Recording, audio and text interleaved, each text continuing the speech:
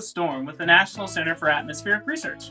I'm Tim, a science education specialist at the NCAR Mesa Laboratory in Boulder, Colorado. Hi, everyone, and I am Chef Nancy from the Mesa Laboratory Kitchens. And today we are going to have some fun with science and with food. Well, I don't know about you, Nancy, but I love in these afternoon thunderstorms we get here in Colorado each summer. I thought we could do an experiment today to explore one of the ingredients for thunderstorm formation. That sounds great, Tim. I'm in. I'm game. But I have to tell you, in the summertime, what I love is a good picnic either before or after that storm made with egg salad sandwiches. Uh, is it okay if we study thunderstorms together while we make up some egg salad? Great. Sounds great. Cool. Okay. So, what I want to make is atmospheric egg salad for sandwiches. And I'm going to start out by first hard boiling about three to four eggs. And then I'm going to soak them in white vinegar for an entire day. Now, this is going to take some patience for those of you who are watching, but it is well worth the wait. Try it at home by hard boiling your eggs, leave the shells on, and then cover them in white vinegar like this. Of course, you'll find a step by step recipe in the description below but until then, I got to show this to you. Tim, check this out. This is my egg that's been pickled overnight in my vinegar. Look at how soft and rubbery and squishy it is now.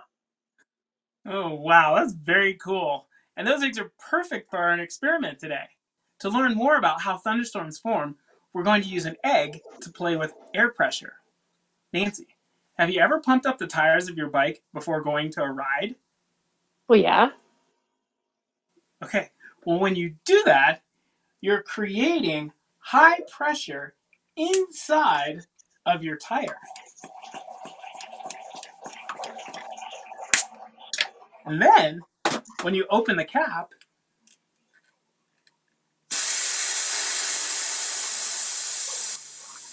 not a good sound. The air, yeah, the air comes rushing out because air likes to go from a place of high pressure inside the tire to a place of low pressure outside the tire.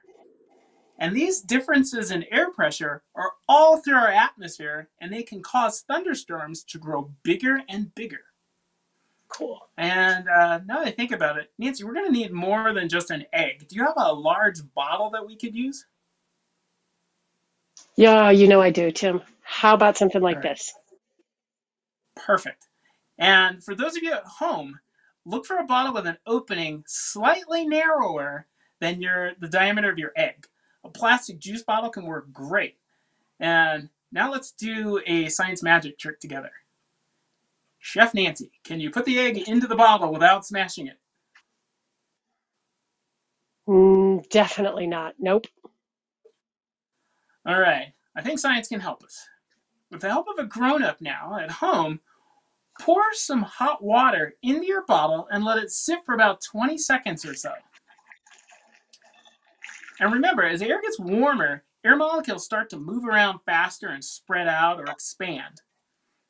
So right now, our hot water is heating up our bottle and heating the air inside of it, which is expanding and rising out through the top. Now, after about 20 seconds, go ahead and pour the water out Cool. I can use this for a nice cup of tea. Fantastic. Once the water is out, let your bottle sit around for about 10 seconds. Uh, the air inside the bottle is still being warmed by the warm bottle. Remember, the heat makes the air expand and rise up out through the top. We call that an updraft. And as that air moves out, it creates an area of lower pressure inside that bottle. Now, now go ahead and put your egg on top of the bottle like Chef Nancy. Your egg is now blocking the air's exit. uh, Nancy, can you fan the air around the bottle to help it cool off? Ooh, absolutely.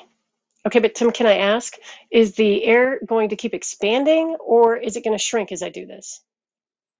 Oh, as the fanning cools off the air outside the bottle, the air in the bottle also cools and contracts or shrinks down. And this means the air pressure in the bottle gets even lower.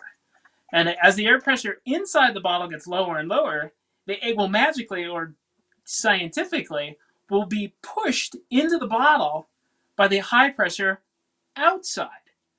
And that high pressure outside pushes the egg into the bottle where the air pressure is lower. Let's watch to see what happens to our egg. Okay, but Tim, tell me again, how, or how is this like a thunderstorm? Oh, well, this is th- similar to uh, how thunderstorms form and get bigger. Because when a thunderstorm is forming, oh, look at that! Fabulous, there it is. This is similar to how thunderstorms grow and get bigger. When the Earth's warm surface heats the air above it, that air expands and rises out through the top of the storm, just like the warm air moving out of our bottle, creating low pressure inside the storm, just like we had low pressure inside our bottle. We have low pressure inside the storm, and the air outside is under higher pressure, so it pushes into the thunderstorm, causing it to grow bigger and bigger because, unlike our bottle, thunderstorms can stretch and they drag more than just air, they also drag moisture inside of the thunderstorm. And on rare occasions, uh, they can become so severe when the updraft or the air is moving fast that the storm can cause tornadoes and hopefully not, but they also can create enormous hail. This is a copy, uh, a hailstone that fell out of the sky in 1970 in Coffeyville, Kansas, called the Holy Coffeyville, cats. Kansas hailstone. Yes. And as these storms get bigger and bigger, they draw more than just air or water or eggs into them, or they could do that. Um, some storms over the ocean can even pull fish out of the water. Okay, maybe not like Sharknado, but that's just because the sharks are smart enough to dive down away from the storm as it's happening. I confess I really like Sharknado. Um, but uh, hang on a minute. Please tell me how I get the egg back outside of the bottle so that I can make our atmospheric egg salad. Uh, well, I bet our friends watching can come up with a solution. Can you find a way to increase the pressure in the bottle again? Think about ways to add air or ways to safely increase the temperature so the air inside the bottle expands again, or just add more air to increase the pressure inside the bottle. And either one of them will push the egg back out. In the comments below, let us know if you figure it out. I think I might need some help figuring that out, Tim. Okay, but I'm going to start making our atmospheric egg salad with my other hard boiled eggs that I've got ready to go. To make your egg salad, just follow the recipe in the description below because egg salad's really pretty easy. You need to have pickled hard boiled eggs, a little mayonnaise, a little yellow mustard, some apple cider vinegar. I like a little dry mustard in mine, celery, pickle relish, salt, and pepper. Follow along with the recipe linked in the description below. When you're done, you are going to have delicious atmospheric egg salad sandwiches to take along on your summer storm picnic. Yum! Uh, we just hope you can avoid the summer thunderstorms during your picnic. And share a photo of your experiment, uh, your recipe, uh, or your picnic on social media using hashtag cooking with NCAR. We'd love to see what you discover. Ooh, I can't wait. Until then, we will see you next time on Cooking Up a Storm. Thanks, everyone.